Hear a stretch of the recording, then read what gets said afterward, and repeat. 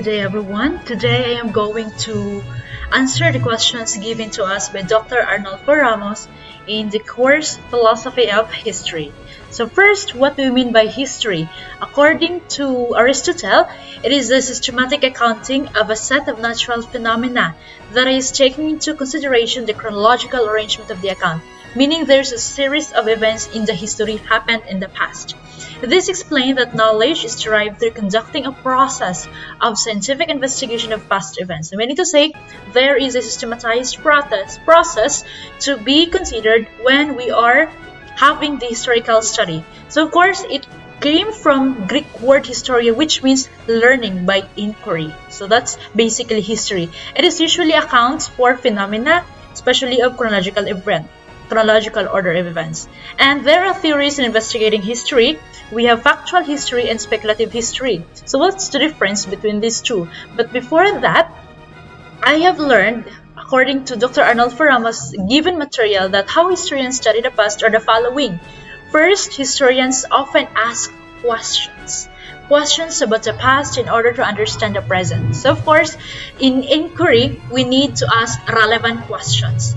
Next step, historians use a variety of methods and approaches to help them answer questions about what happened in the past. Meaning to say there are various methodologies in asking for that questions in conducting research, historical research. And lastly, I also learned that historians examine evidence, authentic or replicated, and draw conclusions they answer historical questions. So basically, there is a evidence that needs to address the questions. Now, theories in investigating history are first factual history and speculative history according to a book entitled Readings in Philippine History. Okay, so it stated that theories in investigating history are first factual, meaning to say it presents readers a plain and basic information only.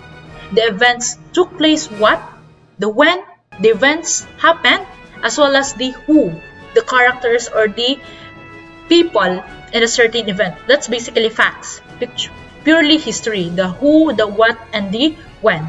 But when we are going to try to dig deeper about that event, goes beyond facts, concerned with the reason why the event happened, the why and how, and tries to speculate on the cause and effect of an event, is we try to investigate the speculative history, digging deeper of that certain event.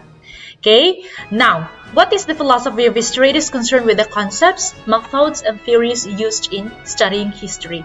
So, of course, the question of given First, what does history consist of individual actions, social structures, periods, and regions, civilizations, co large causal processes, as well as divine intervention? It's basically the incompleteness of records has limited man's knowledge of history purely the historians are going to to discover, research, inquire questions about a specific event, and of course, that they can conclude based from the limited sources of knowledge or basically evidence. So, of course, in order to have a holistic understanding of history, they should have individual actions, the, the, the complete cause or the complete source of evidence. So of course, the historians will try to understand the civilizations, the social structures, periods, as well as divine intervention in order to have historical knowledge, in order to produce or conclude a certain historical event. Now, the historian's aim is also verisimilitude, which means they need to arrive to get the truth, the authenticity, as well as the plausibility of the event happened in the past. So basically, having this history consists of individual actions, large causal processes, divine intervention, they aim to have the verisimilitude. Next, does history as a whole have meaning, structure, or direction beyond the individual events and actions that make it up? From the evidence, historians strive to restore the total past of mankind history as a whole of meaning beyond the individual events or actions that make it up. History becomes only the part of a human past which can be meaningfully reconstructed from the available records and inferences regarding their setting. Of course, the historians will try to gather as much as possible the authentic data and the individual actions and events, those individual actions if could be compiled and with the conduct with the result of the different series of historical writings and authentic evidences, of course, the historians could come up a very reliable source of information. So yes, they, they could have a whole meaning if those individual actions will come up. Those product of research and as well as authentic historiography and historical research. Now, what is involved in our knowing, representing, and explaining history? Of course, first of all, the historian's aim is to achieve a verisimilitude, the truth, authentic, and plausible about the past. So, of course, this includes historiography, writing about history, as well as gathering data or historical data, having also historical method, the different steps, methodologies in arriving or searching for that historical knowledge. Of course, how they are going to conclude to have a method, of course, they need to have errors, a source, source of evidence. And it comes into two, the primary source as well as the secondary source. Also, they are going to analyze the historical data that gathered and having the historical criticism to see if what they get, what they got as well as the research are authentic, plausible, and true. Now, we have historical method, the process of critically examining and analyzing the methods or survivals of the past, records of the past. Basically, it's the method, the step-by-step -step process of the past. Historiography, the imaginative reconstruction of the past from the data derived by that process. Meaning to say it's writing about the historicity, about the historical event. And historicity, the history is the investigation of the past. Now, what is the steps in historical analysis? First select the subject investigate, collect probable sources of information on the subject, examine the sources of genuineness, the truth, the authentic as part, in part of, in whole, and extract credible particulars from the sources or parts of sources. Of course, we need to, historians gather evidences authentic one, the reliable source, and they extract that source from, they sift that source from the very most credible part to explain that specific historical event. And evidence, we have basically there's a process. Process they select, analyze, organize, eventually they write, and they gathered evidence. So history is an account of the past according to this model. And sources of historical data, of course, it could be relics, remains, artifacts, testimonies of events happened to the past. Like for instance, the World War it could be a good source of reference or source could be the the witness of the event, the veterans. And historical sources are materials from which the materials construct meaning. So that's historical source. Example from the Philippine history, from the National Culture Museum, we have the Laguna copper plate inscription. So it is a tablet um, with the baybayin as a copper inscribed it is it tells a deep of the past, utang. So basically, they're existing na utang noong unang panahon, tracing history. And we have, of course, the Manunggul jar as part of the relics or artifacts of the Philippine history. This could be a good source of information. Specifically, some of the author or historical authors I've said um, research that they conclude that the, the people before Anitos are be believed to have the life after that, hereafter. So basically, it's a boat and it is a jar putting the bones of the specific person died. Now, we have also testimonies of witnesses. This could be one good source of historical data. So they could be the speech, commentaries, or other people who witnessed this certain historical event. And we have the written sources of history, written and unwritten. First, written, it could be classified as narrative or literature, diplomatic or juridical, the laws, as well as the social documents. This could be refers to the birth certificates and other literature writings, gathering history. And we have also another source of history, which is the non-written. Non-written comes into two forms, the material evidence or archaeological evidence, as well as the oral evidence. Material evidence or archaeological evidence refers to the things that were presented before in the past. So example here, the burial cloth, the death blanket. So it is a Banton uh, ikat, known as ikat. It is a cloth that is basically from the past that concluded um, used to be a wrap for the deceased person. So basically, long time ago, other sources stated that burial happened long time ago because of this one.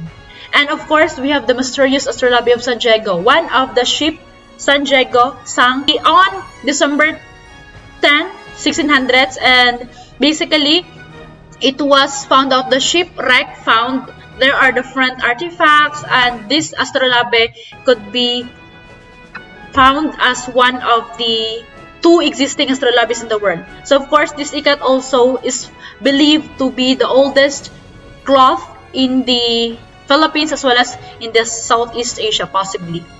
Then we have the primary sources, secondary sources. Primary sources are the first and original first-hand experience, meaning to say it could be a statement, the quotation, the books, the movies, the pictures. Those refers to the primary sources of evident or historical knowledge. And we have also secondary source. These are the second-hand source of information. Materials made by people long after the events being described. Example, the interpretation or the books written about that particular historical event. It could be a a a magazine or newspapers writing of a specific historical event. So it's a second-hand experience or second-hand source of information. And of course, when we are gathering historians gathering data, they know they need to criticize if that historical evidence are true. So historical criticism must be done and they need to test the authenticity whether the material are correct, reliable or true.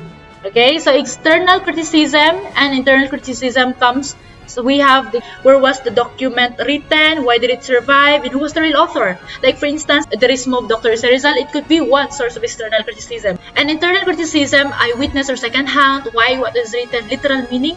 Example, if the Noli Me Tangere contains a word globalization, of course, if we try to scrutinize, globalization did not exist in during the Spanish word. It's now. So of course, basically, it's unreliable. So of course, after the structure of the book itself, Noli Me Tangere and filibusterismo, the content of the book itself will be scrutinized. That's the internal criticism.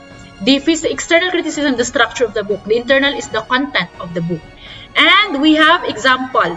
One past but many histories, controversies and conflicting views in Philippine history according to a book of Ligan et al. 2018 readings in Philippine history. So accordingly, they, they stated a quarrel or conflict between these two events.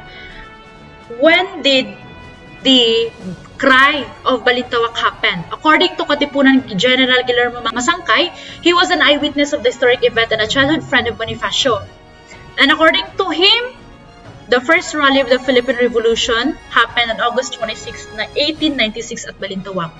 And of course, in contrast, according also to Gregoria de Jesus, which who was the wife of Andres Bonifacio, a keeper of the secret document of Katipunan. She also, the keeper of the secret document of the Katipunan, she also stated that the first cry happened near Caloocan on August 25, 1896. So what's the truth? Okay, so that's one of the major nice historical event that could be touched in the history. And what extent is human history constituted of the constitutive of the human present? So according to George Santayana, those who don't learn history are doomed to repeat it. Basically, if we try to analyze history, it could give us lesson. Like for instance, the world wars, the major world wars in history. It bring destruction, massive death, poverty, or even hunger. If we try to learn from the past, it could prevent another future wars in the future. We will learn from the past if we try to have a good future, a brighter future. So if we try to learn history, we will learn something. We will learn, we will have a brighter future if we try to avoid those mistakes of the past. And accordingly, the material given from Dr. Arnulfo Ramos, I have also learned that to know more about the roots of our culture is history.